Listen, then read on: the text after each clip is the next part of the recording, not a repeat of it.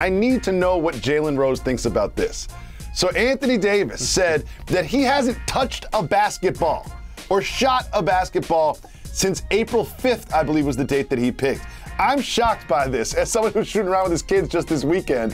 Jalen, what do you think about Anthony Davis not touching a basketball in over two months? So this is when keeping it real goes wrong. And like Kara said, it's not about a salary, it's all about reality.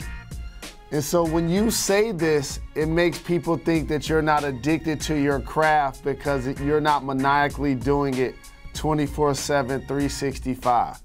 Especially when you've had some injuries this year, your team didn't make the playoffs, you didn't meet your goals, you just got a new coach. The new coach is going to implement trying to make you into a top 10 player again and competing like that on a nightly basis.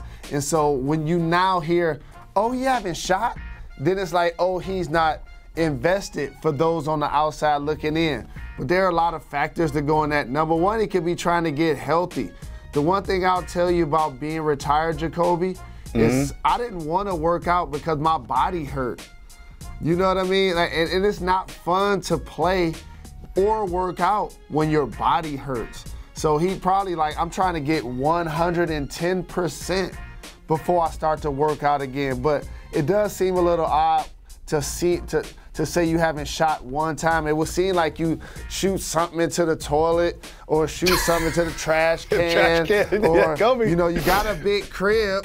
You know, I know you walk through the gym in your house every now and then or something. So uh, yeah, it, it does seem a little odd when you think about it that way.